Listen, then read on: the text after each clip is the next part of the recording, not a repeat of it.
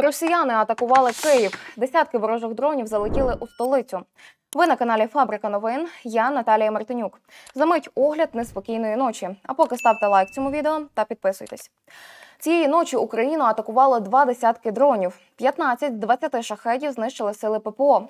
Відомо, що протиповітряна оборона працювала у Київській, Полтавській та Черкаській областях. Командувач об'єднаних сил ЗСУ, генерал-лейтенант Сергій Наєв, виклав мережу вражаюче відео, на якому черга за чергою українські захисники боронять наше небо.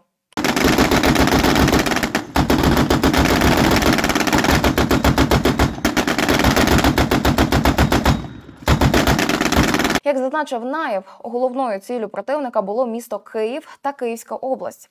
А ось заява начальника КМВА, генерал-полковника Попка.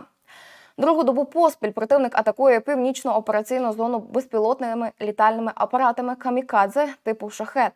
Ворожі дрони камікадзе були запущені багатьма групами і заходили на атаку хвилями з різних напрямків, водночас постійно змінюючи вектори руху за маршрутом, зазначив він.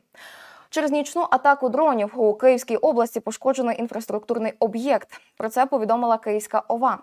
За попередньою інформацією, жертв та постраждалих немає, а пожежа ліквідована. Загалом повітряні сили зафіксували у суботу ввечері рух ворожих шахедів з боку Сумщини. Рух через Сумську область продовжився в напрямку Полтавської. Тривогу оголосили також на Чернігівщині, а згодом на Київщині і на Черкащині. Небезпека поширилася на Чернівецьку та Хмельницьку області. Згодом у столиці ненадовго скасували сигнал загрози. Однак через кілька хвилин знову оголосили повітряну тривогу. Після опівночі, 19 листопада, повітряні сили повідомили, що група ударних ворожих БПЛА у районі Кам'янця-Подільського. Інші групи ударних безпілотників рухалися між Черкасами та Білою церквою у північному напрямку. Крім того, повітряні сили повідомили про загрозу балістики на сході України. Після другої ночі повітряні сили оголосили відбій загрози по всіх областях. Раніше Зеленський попередив, що скоро буде ще більше потужних ударів від Росії. Чим ближче до зими, тим більше буде російських намагань зробити удари потужніше. Усім нам в Україні важливо бути ефективними на 100%, попри всі складнощі, попри всю втому, попри будь-які намагання послабити Україну. Повага і слава усім, хто б'ється заради держави, усім, хто допомагає та працює, щоб Україна могла захищати і захистити незалежність. Це залежить від кожного, від кожної. Хто стійкий, від усіх, хто ефективний, від кожного і кожної, хто може додати і додає Україні сили, перспектив. Будь ласка, використовуйте кожну можливість, щоб посилити державу.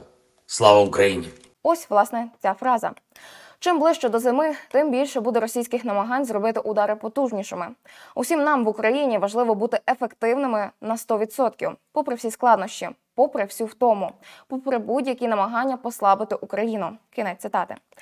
Чи не найоптимальнішим варіантом для збиття шахедів є мобільні групи військових? Вони дуже ефективні і таким чином не витрачаються на збиття відносно недорогих дронів, цінні боєприпаси від західних партнерів, потужних систем ППО. Олексій Кулеба з ОП показав кілька фото і розповів таке: цитую. Постійно триває активна робота з розширення мережі мобільних груп для боротьби із ударними безпілотниками.